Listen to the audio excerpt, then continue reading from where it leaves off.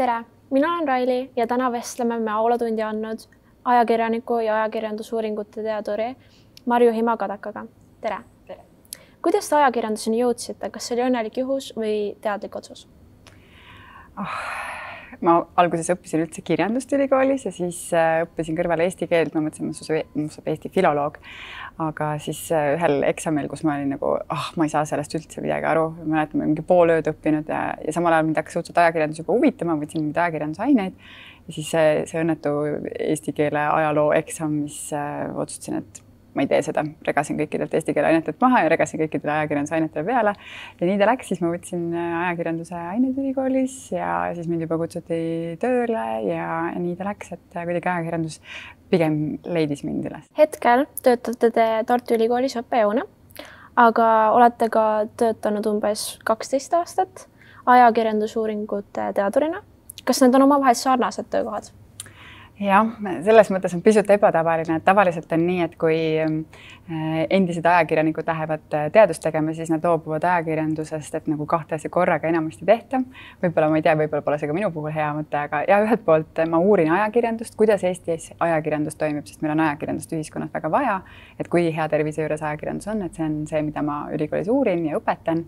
Äh, aga teistpidi ma Äh, siis teen ka ajakirjandust, et peab tunnistama, et see lihtsalt on nii raske loobuda sellest, sest see on mhm. ähm, äge töö, lihtsalt on mingi asi, mis mulle väga meeldib. kumb teile rohkem meeldib, kas äh, õppejõuna töötada või pigem ikkagi ajakirjandusvaldkonnas? ma arvan, et need asjad meeldivadki sellepärast koos, et äh, ma saangi, ma ei tea, ühel päeval teha mingit otseülekannet või mingisugust väga ägedat lugu või teha mingit suurt koostööprojekti ja järgmisel päeval minna ja õpetada seda tudengitele, et need asjad käivad lihtsalt minu jaoks nii koos räägime natukene meediapädevusest.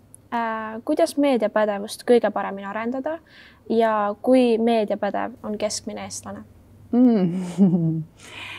minu arust on, ma olen mõnikord võrrelnud meediapädevust ka sellise nagu dieediga jah, et toidusedeliga, mis sul on, et, et kui meil on toitumissoovitused, et see peaks olema võimalikult mitmekesine, siis minu arust on see üks selline ka meediapädevuse alus, et äh, sinu meediadieet peaks olema hästi mitmekesine, seal pea sees võiks olla siis äh, kvaliteetset ajakirjandust, seal sees võiks olla ka kvaliteetset meelelahutust, seal sees võib olla ka täiesti alternatiivseid väljaandeid, et sa saaks aru, et mõned inimesed näevad asju hoopis teistmoodi.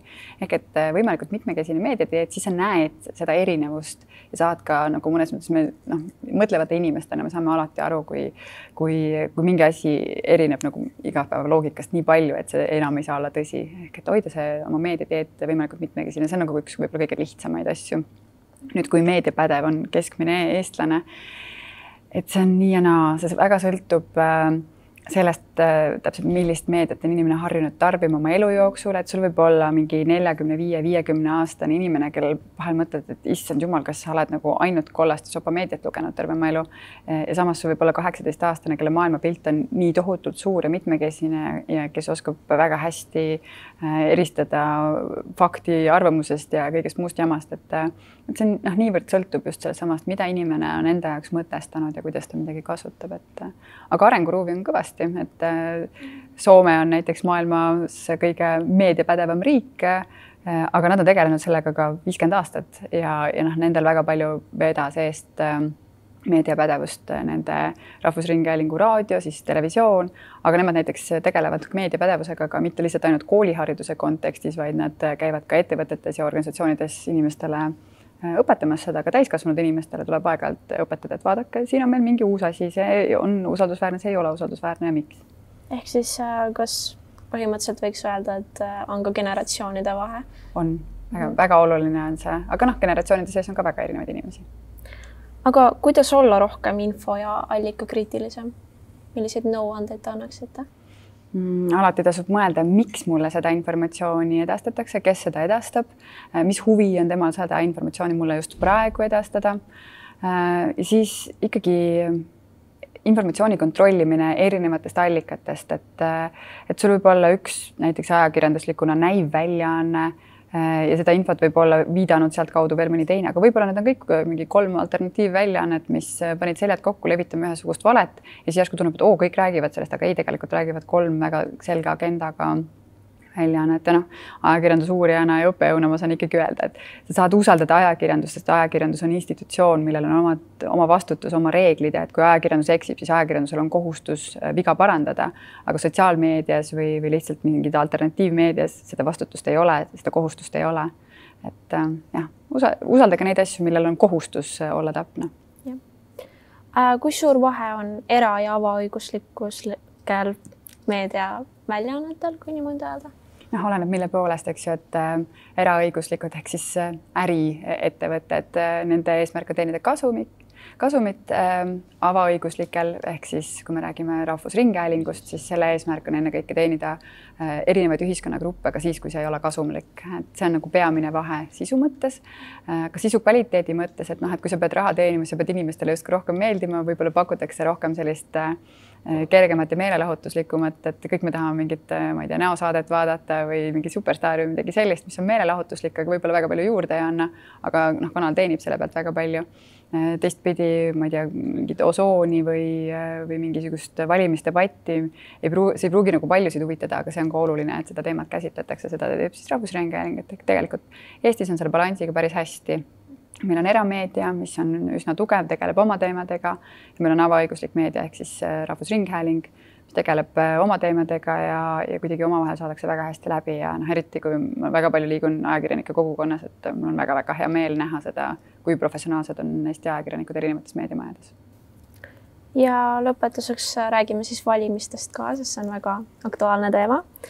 Äh, kuidas praegustel valimiste ajal meedias infot filtreerida, et vältida reklaami ohvriks langemist hmm.?